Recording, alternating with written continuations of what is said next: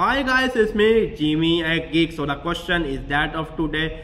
I'm 35 years old. Can I come into web programming? Basically, he's asking that can he become a web developer? He's 35 years old. You know what? You can't. You're already to all go and have some kids or go and then work in a construction industry or go and become a security guard. You can't come into web programming. Is that the answer you were expecting me to answer? Definitely right or wrong? Just leave in the comment box below.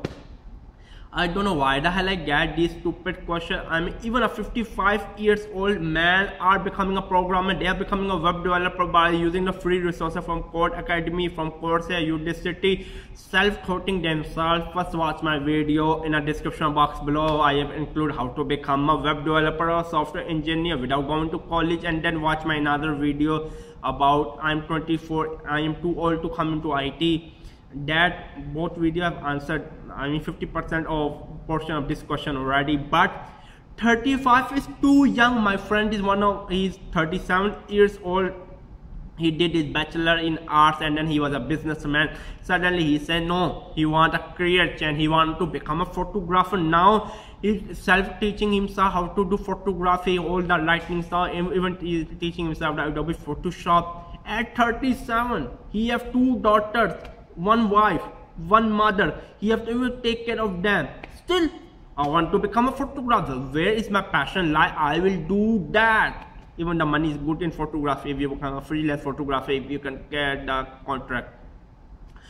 But he's 37, he's doing that 35. I do not care even you are 45. You need bloody passion. You need passion, passion, passion to be honest with you everybody have to die. One day you have to die i have to die. God have created us to be honest with you from clay. Everybody have their time fix. Someone will die at 35 someone will die at 45 someone will die at 95 someone will die at 105 only god know i'm a muslim. I believe in religion. If you're christian jew i do not care which religion you are. You should believe in god. Everybody have to die. I mean we cannot live an infinite life everybody have to die.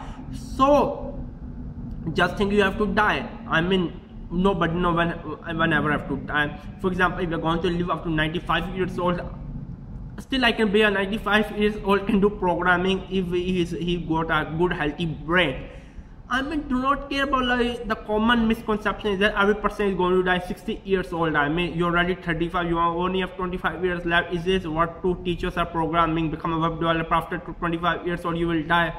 All that kind of misconception about human life.